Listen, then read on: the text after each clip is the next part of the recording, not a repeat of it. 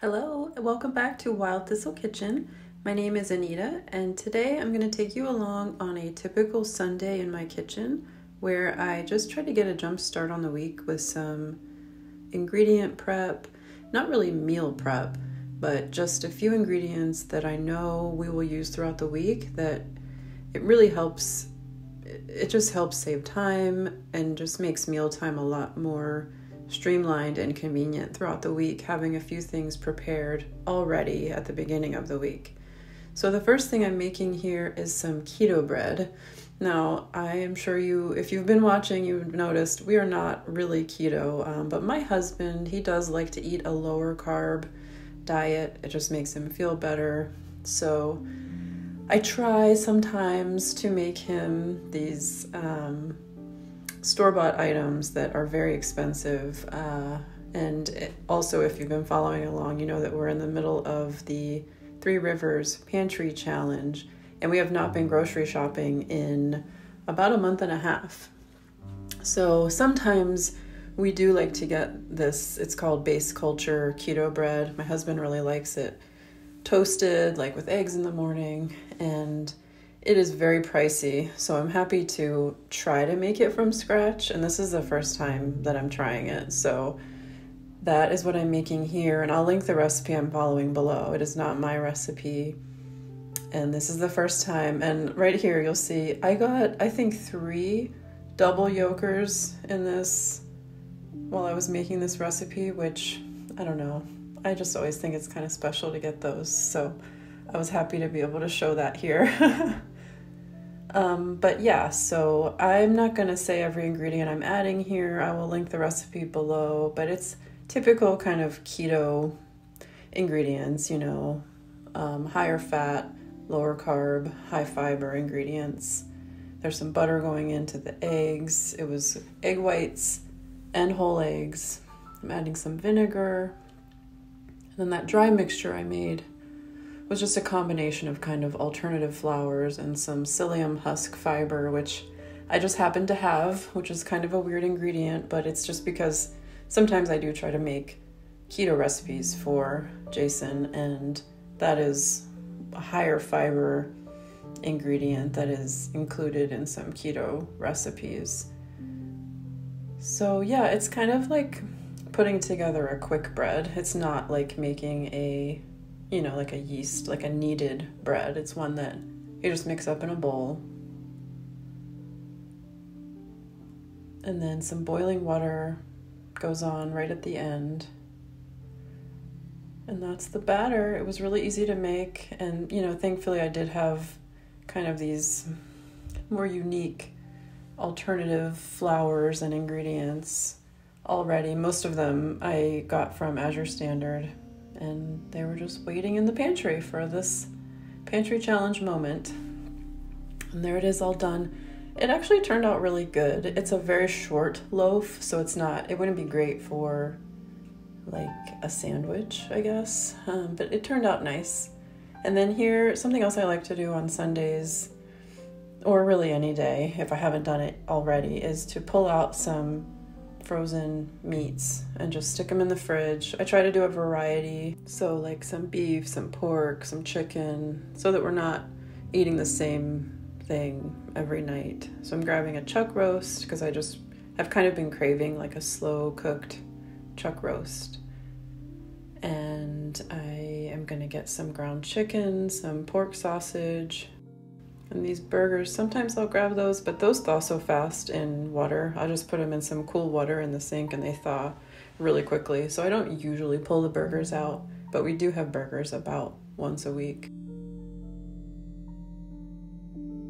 And then these, this is like my little seafood drawer down here. The fish thaws really quickly and so does shrimp. But these shrimp have been like on my mind during this pantry challenge because they have been in the freezer for kind of a while. So I want to use those up. And then I'm grabbing this smoked salmon because I was thinking my husband could have that on some of his toasted keto bread. Very fancy.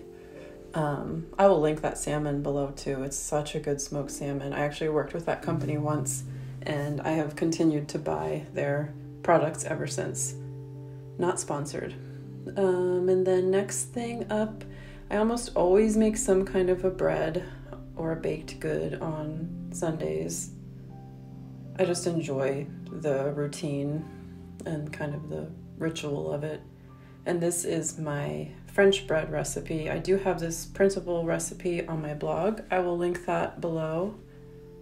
It makes two loaves of really nice soft French bread. And then while I'm making it, you know, I notice when things are getting empty.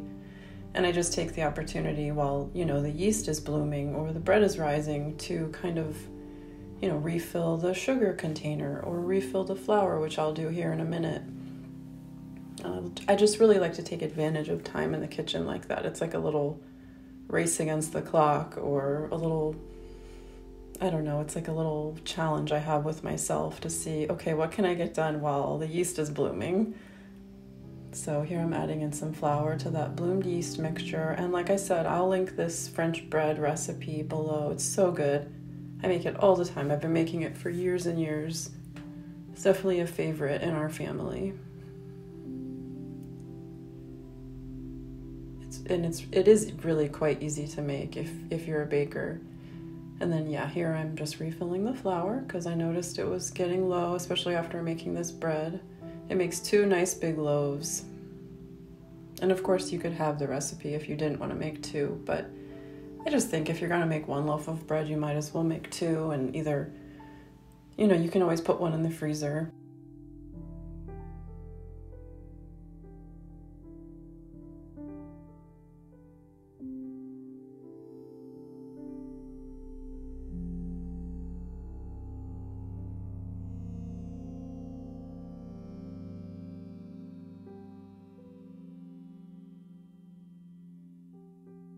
And there it is all done. So now I'll just cover it and let it rise for about an hour. It depends on the time of year, but this time of year when it's a little cooler, it takes about an hour. And then I'm using those um, yolks left over from the keto bread to later on I'll use those for my egg wash. So, you know, using every little bit, especially during this pantry challenge, but I always dislike wasting anything in the kitchen. So the pantry challenge just further enhances that. and then here's my nice French bread dough. I just divided in half, and I'm not a a scales baker.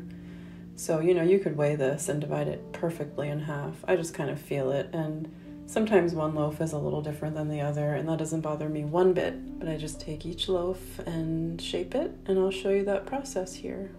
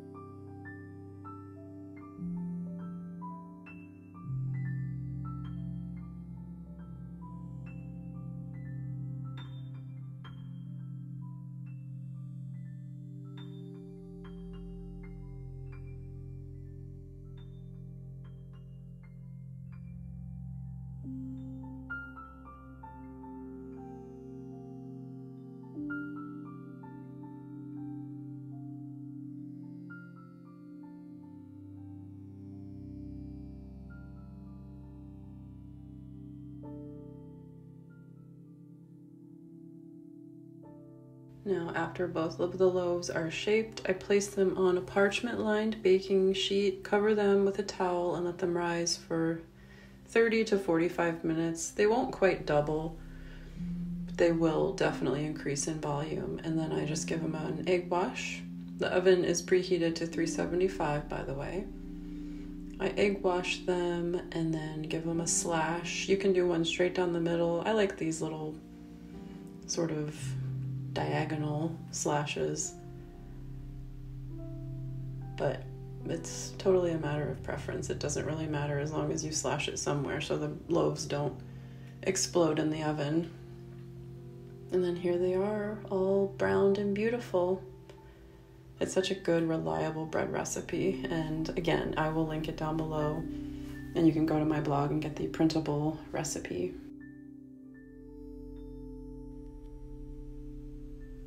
And this always looks a little bit different, my ingredient or meal prep, if you want to call it that, on a Sunday. It's never the same things. It's usually a bread, but then everything else kind of varies. And today I'm making just batch cooking a lot of bacon because bacon is one of those things like I really don't enjoy cooking it because it's messy. It makes the whole house smell like bacon, which sometimes I don't know, it's just not one of my favorite things. So, but it is nice to have bacon for recipes. My husband really likes bacon. So, if I'm going to cook it, I kind of like to cook a lot of it at one time and stash it away in the free in the fridge and, you know, sometimes I kind of have to hide it because bacon disappears quickly around here. But so I am doing two big trays of it in the oven I cook it at 375 for like 20, 25 minutes. It just depends on the thickness. This is a thicker one, so it'll take a little longer. And that's it. It's just a really simple thing to do, but it makes a big difference during the week to already have this done. And of course, I always save my bacon grease, but first, when I take it out of the oven, I like to prop it up kind of diagonally. This is something that I learned from my dad. He always did this. Um, and it just helps the grease kind of drain away while the bacon cools and crisps up. And then I remove the bacon and pour that grease off. I, I've been saving it, especially lately during this pantry challenge. I've been trying to use things like bacon fat more for cooking than my precious butter, which I do love to cook with, but you know, I'm trying to make it last. So the bacon grease has been really, really ha- handy, and I've been glad to have it. But yeah, there's all that bacon put away, and I'm just gonna hide that in the back of the fridge and hope nobody notices it. And something else that we love having for snacks or for lazy breakfasts are hard boiled eggs. So I love to make a big batch, and thankfully, our chickens are really laying right now. We didn't have a very cold winter, and the light is you know, the days are getting longer again now, and our chickens have really picked up. So we are taking advantage of that. And I'm making a big batch of hard boiled eggs that we'll just eat, you know, throughout the week.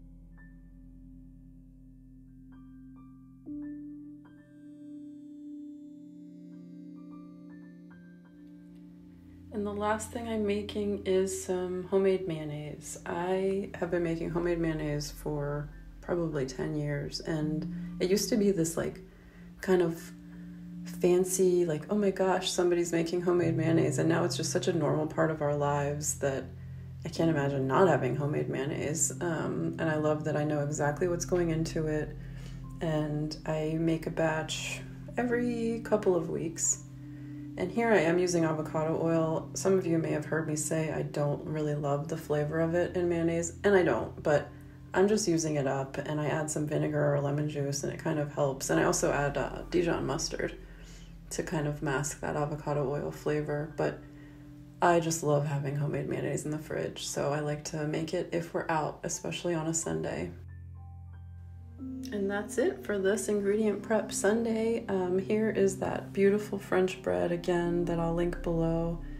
I am going to show you some of it sliced here in a second. It's just like I said, I've made it for a very long time, um, a decade more, I think, actually. And it's just a really, really delicious bread. And then this is that keto bread. I, I let it cool and sliced into it. It's really good. It's very dense, but toasted up. It's it's good. My husband really likes it, and I guess that's all that matters because I made it for him. And I will link that recipe down below too. We are still going strong in the Three Rivers Pantry Challenge. It's been about a month and a half since we have gotten any groceries, and we're doing fine. It's kind of fun. It's been a fun little adventure. Um, the kids, of course, are kind of griping about it, but they'll be all right. And um, I would love to know if you are participating in it and how it's going for you. If you missed it, I've shared a couple previous videos of some meals and some snacks. And then before those two, I shared our pantry, fridge, and freezer tour of everything we had in the whole house before we started. So check those videos out and thank you so much for watching. I will see you next time.